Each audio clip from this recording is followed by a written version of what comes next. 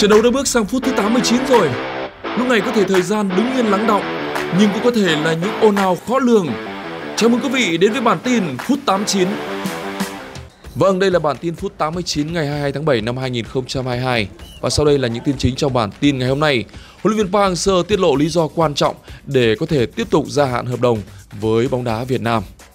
Thái Lan phủ nhận việc đã mời Việt Nam tham dự Kings Cup năm 2022. Sadio Mane vượt qua Mohamed Salah để đoạt danh hiệu cá nhân quan trọng của bóng đá châu Phi. Và hãy cùng bắt đầu bản tin phút 89 ngày hôm nay ngay thôi nào.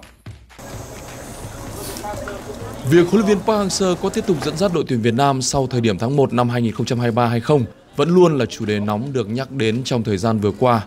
Không chỉ truyền thông trong nước mà cả truyền thông nước ngoài cũng đặc biệt để ý đến ờ, câu chuyện này. Đáng chú ý trong một cuộc trả lời phỏng vấn mới đây, huấn luyện viên Park Hang-seo đã chia sẻ với đài truyền hình SBS của Hàn Quốc và cũng đã đề cập đến chủ đề này. Chiến lược gia người Hàn Quốc vẫn tỏ ý muốn tiếp tục hợp tác lâu dài cùng bóng đá Việt Nam, nhưng điều này cũng phải phụ thuộc vào cả hai phía.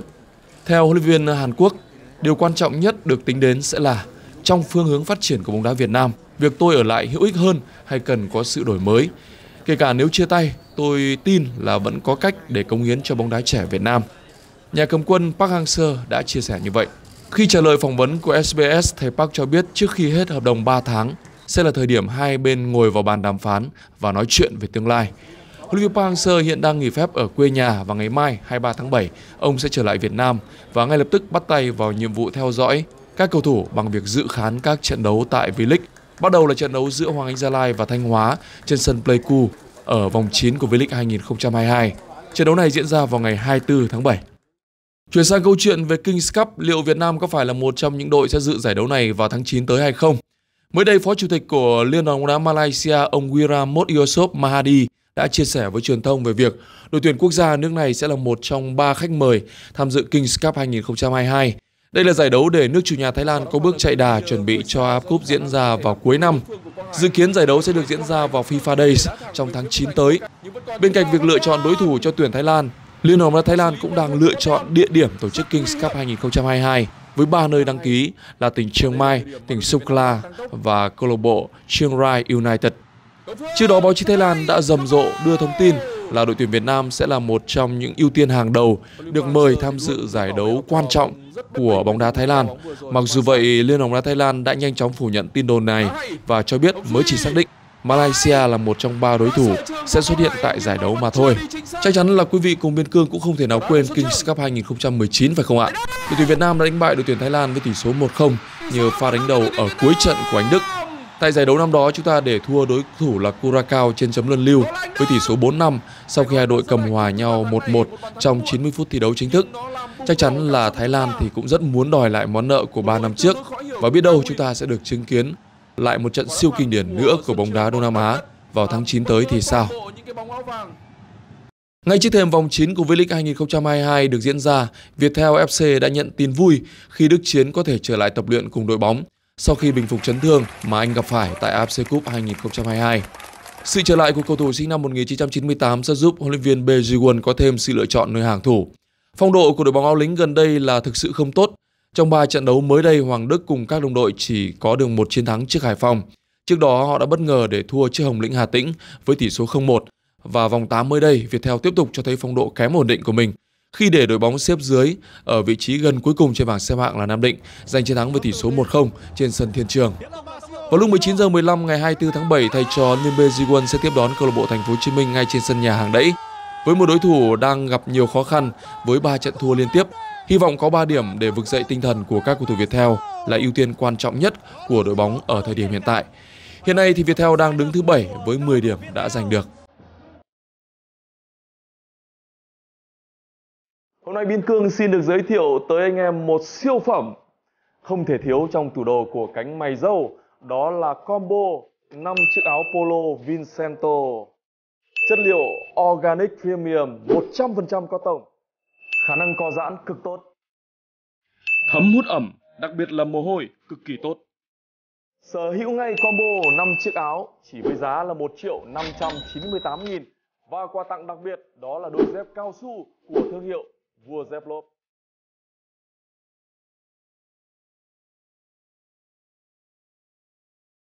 Mới đây, ông Lê Hoàng Cương, tổng giám đốc của câu lạc bộ bóng đá Bình Dương xác nhận với trang dinh.vn rằng họ đang có ý định mời huấn luyện viên Toshia Miura về dẫn dắt BKMX Bình Dương thay cho huấn luyện viên đương nhiệm là huấn luyện viên Đặng Trần Chỉnh. Vị tổng giám đốc này cho biết đây là ý định mới nảy ra chứ đội chủ sân quả đậu cũng chưa hề tiếp xúc hay đàm phán với vị huấn luyện viên người Nhật Bản đã từng dẫn dắt đội tuyển Việt Nam. Lý do chính được đưa ra là bởi hiện tại huấn luyện viên Đặng Trần Chỉnh đang đảm nhiệm vai trò đội 1 lẫn công ty đào tạo trẻ của đội bóng. Chúng tôi muốn giảm áp lực công việc tạo không khí mới cho đội bóng nên có ý định tìm người thay thế cho huấn viên trưởng hiện tại. Ông Cương chia sẻ. Trước đó vào hồi đầu tháng 7, vị huấn luyện viên 59 tuổi này cũng đã trở lại Việt Nam để giải quyết một số công việc cá nhân cũng như gặp gỡ bạn bè. Cựu huấn luyện viên trưởng đội tuyển quốc gia Việt Nam cũng đã có buổi trò chuyện với huấn luyện viên Nguyễn Đức Thắng của câu lạc bộ Bình Định. Tại thời điểm này cũng đã có những tin đồn rằng huấn luyện viên Miura trở lại Việt Nam và dẫn dắt câu lạc bộ Sài Gòn, đội bóng đang có những mối liên kết hợp tác với các đội bóng Nhật Bản. Ông Miura phủ nhận và cho biết rằng mình không có chủ định là dẫn dắt đội bóng nào trong chuyến trở lại Việt Nam đó. Theo như cá nhân mình được biết thì việc BKMX Bình Dương tìm kiếm vị thuyền trưởng mới cũng đã được diễn ra từ khá lâu. Huấn luyện viên ờ, Phan Thanh Hùng là người được cho sẽ mang lại làn gió mới cho Bình Dương, nhưng sau đó cũng đã sớm nói lời chia tay chỉ sau có 4 tháng và huấn luyện viên Đặng Trần Chỉnh bất đắc dĩ phải ngồi vào chiếc ghế nóng mà thôi. Mới đây huấn luyện viên Trần Minh Chiến, người đã từng dẫn dắt đội bóng đất thủ ở mùa giải 2018-2019 cũng đã xin từ chức sau 3 trận thua liên tiếp của câu lạc bộ Thành phố Hồ Chí Minh. Biết đâu trong tương lai sẽ là màn tái hợp của người đã giúp BKMX Bình Dương có được chiếc cúp vô địch cúp quốc gia năm 2018 thì sao? Chúng ta cùng chờ đợi. Chuyển sang thông tin của bóng đá quốc tế tại buổi lễ trao giải diễn ra hôm 21 tháng 7 theo giờ địa phương.